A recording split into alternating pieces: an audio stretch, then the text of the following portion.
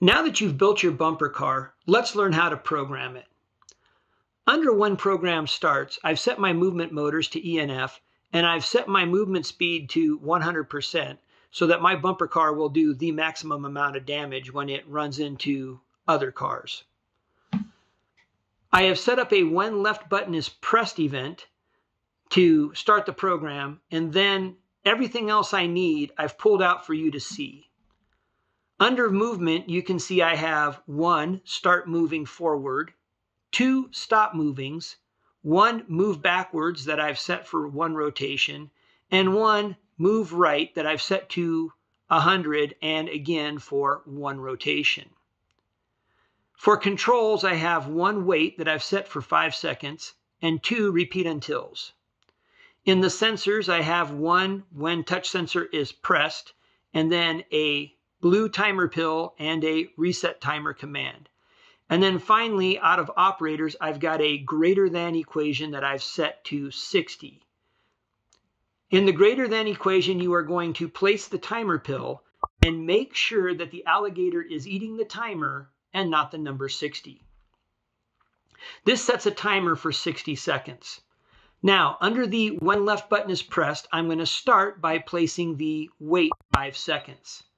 This wait gives you time between when you press the button and when the robot launches so that you have five seconds to place the cover on your robot before the destruction begins. After this, I'm going to reset my timer. Anytime you start a program, the timer starts counting.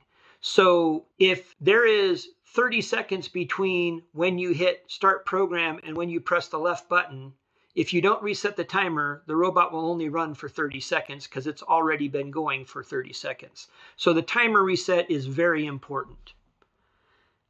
My first repeat until will go right underneath the timer. And in there, I am going to place my 60 second timer. And so this is the duration that the program will run for 60 seconds. And then at the bottom of this repeat until, I am going to place my first stop moving. And that will end the program. The second repeat until will get my when touch sensor is pressed block. And so now this is going to be where the robot is allowed to run around and slam into things. Inside the repeat until, I'm going to put a start moving. And so this means that the robot will run in a straight direction and it will do so until the touch sensor is pressed when it runs into something. Once it runs into something, I'm going to have it stop moving. Then I'm going to have it back up for one rotation. Then I'm going to have it turn. Now, right now I have them set for one and one, but after you've played with your robot, you can adjust those numbers to your liking.